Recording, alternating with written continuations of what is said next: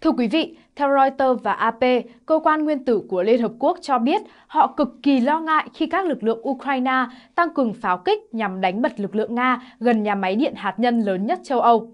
Nhà máy điện hạt nhân này đã bị Nga sớm kiểm soát trong chiến dịch quân sự kéo dài hơn 14 tháng.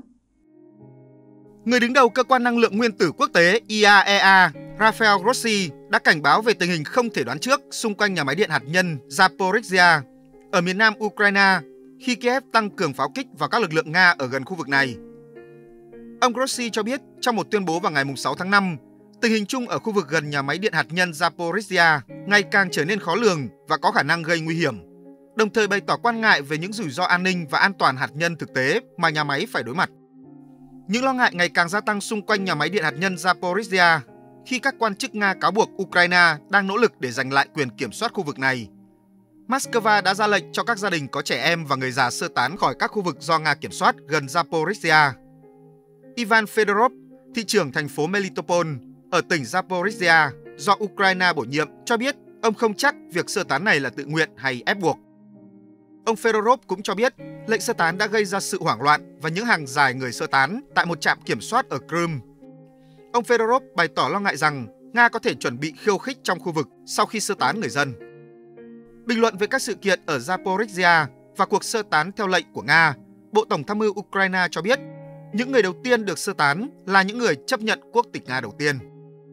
Ông Grossi tuyên bố rằng các chuyên gia của IAEA đã nhận được thông tin về việc Nga sơ tán cư dân khỏi thành phố Enehoda gần nhà máy Zaporizhia, nơi hầu hết nhân viên nhà máy điện hạt nhân lớn nhất châu Âu sinh sống và họ đang theo dõi chặt chẽ tình hình về bất kỳ tác thái tiềm năng nào đối với an toàn hạt nhân và an ninh xung quanh khu vực. Thưa quý vị, theo Reuters, Bộ Tổng tham mưu Ukraine cho biết các lực lượng Nga đang sơ tán những người mang hộ chiếu Nga khỏi thị trấn quanh nhà máy điện hạt nhân Zaporizhia ở miền đông Ukraine đến thành phố cảng Berdyansk và thị trấn Primorsk. Cả Nga và Ukraine đều cáo buộc nhau pháo kích vào nhà máy điện hạt nhân Zaporizhia. Mọi nỗ lực đảm bảo một khu vực an ninh xung quanh nhà máy cho đến nay đều thất bại. Zaporizhia là một trong bốn tỉnh của Ukraine được Nga tuyên bố sáp nhập hồi tháng 10 năm ngoái. Tuy nhiên, quân đội Nga chưa kiểm soát toàn bộ khu vực này. Thời gian gần đây, quân đội Ukraine đã điều động một lượng binh sĩ và trang thiết bị quân sự về khu vực này nhằm sẵn sàng cho cuộc phản công giành lại lãnh thổ. Theo các chuyên gia, việc quân đội Ukraine dồn quân xuống khu vực phía Nam đã đặt lực lượng phòng thủ Nga tại bán đảo Crimea trong trạng thái cảnh giác cao độ. Nga kiểm soát nhà máy điện hạt nhân Zaporizhia từ năm ngoái lãnh đạo quốc tế nhiều lần cảnh báo về một cuộc khủng hoảng hạt nhân ở Ukraine do các bên liên tục pháo kích nhau xung quanh khu vực nhà máy Zaporizhia. Ukraine được cho là đang chuẩn bị cho kế hoạch phản công ở Zaporizhia. Ông Renat Khacha, cố vấn tổng giám đốc tập đoàn năng lượng hạt nhân Nga Rosneftom, ngày 4 tháng 5 cảnh báo nếu đập Nova Kakhovka bị vỡ, các đường dây điện cấp cho nhà máy điện hạt nhân Zaporizhia sẽ bị ngập Ông ước tính ít nhất 3 ngôi làng với tổng cộng từ 15.000 đến 18.000 người dân sẽ bị ngập nếu con đập bị vỡ. Tháng 11 năm ngoái, sau khi Nga rút quân khỏi thành phố Kherson gần đó, ảnh vệ tinh cho thấy con đập này xuất hiện những hư hại mới đáng kể. Nga và Ukraine cáo buộc lẫn nhau có ý định dùng thuốc nổ để phá vỡ con đập, gây ngập lụt ở hạ lưu, kéo theo tổn thất lớn cho Kherson. Tuy nhiên, bình luận của ông Khacha lại mâu thuẫn với thông tin mà giới chức Ukraine đưa ra hồi cuối tháng 3 rằng nhà máy điện hạt nhân Zaporizhia có thể thiếu nước làm mát lò phản ứng cuối mùa hè do lực lượng Nga rút hết nước khỏi hồ chứa vốn cung cấp nước cho nhà máy. Ông Vladimir Rogov, quan chức cấp cao của khu vực Zaporizhia do Nga bổ nhiệm, đã đưa ra nhận định khả năng quân đội Ukraine tiến hành cuộc phản công lớn ở Zaporizhia trong vài ngày tới vẫn còn tồn tại. Theo ông, cả quân đội Nga và Ukraine đều đã sẵn sàng thúc đẩy các hành động quân sự.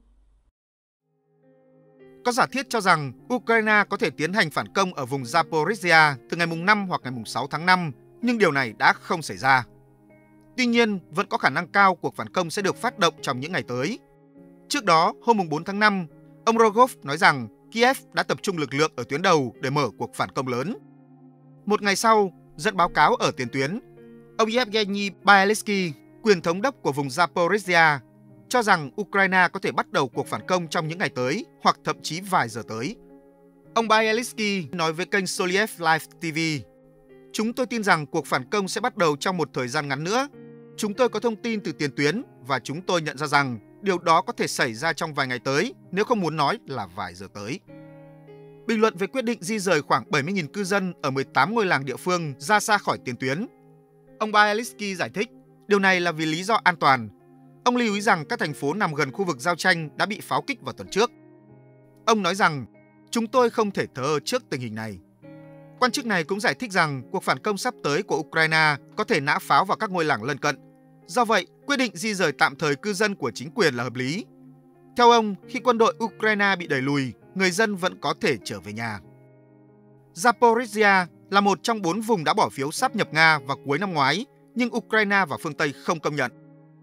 Theo một số nguồn tin, chính phủ Ukraine đã lên kế hoạch cho cuộc phản công lớn chống lại Nga trong vài tháng. Đầu tháng 4, Thủ tướng Ukraine Denis Mihan cho biết Kiev đã lên kế hoạch phản công vào mùa hè. Trong khi đó, truyền thông Mỹ đưa tin cuộc phản công dự kiến sẽ bắt đầu vào ngày 30 tháng 4. Tờ Foreign Policy dẫn lời nhà lập pháp Ukraine Oleksandra Ustinova cho biết Kiev thực sự đã hy vọng phát động cuộc phản công vào tháng 4, nhưng sau đó đã hoãn lại vô thời hạn do thiếu vũ khí. Ông Yevgeny Prigozhin, lãnh đạo tập đoàn quân sự tư nhân Wagner có trụ sở tại Saint Petersburg, Nga, cho biết hôm 3 tháng 5 rằng cuộc tấn công của lực lượng vũ trang Ukraine đã bắt đầu và có thể bước vào giai đoạn tích cực trong tương lai gần. Về phần mình, Thứ trưởng Ngoại giao Nga Mikhail Galuzin hôm 4 tháng 5 tuyên bố dù Ukraine đang được phương Tây khẩn trương bơm vũ khí nhằm chuẩn bị cho một cuộc phản công, nhưng sẽ chẳng được lợi ích gì ngoài việc khiến thương vong càng tăng cao. Trả lời phỏng vấn tờ Ivestia, Thứ trưởng Galuzin nói Kiev và các đồng minh phương Tây không có thiện chí đàm phán hòa bình mà chỉ muốn đánh bại quân đội Nga trên chiến trường. Theo ông Galuzin, phương Tây đang cung cấp vũ khí hiện đại cho Ukraine một cách thiếu cân nhắc và vô trách nhiệm, đồng thời ủng hộ ý tưởng phản công. Ông nhấn mạnh Điều đó chỉ dẫn đến gia tăng thương vong và làm xung đột leo thang hơn nữa. Ông Galuzin nói, các lực lượng Nga đã sẵn sàng đối phó và cuộc phản công có nguy cơ gánh chịu hậu quả nặng nề.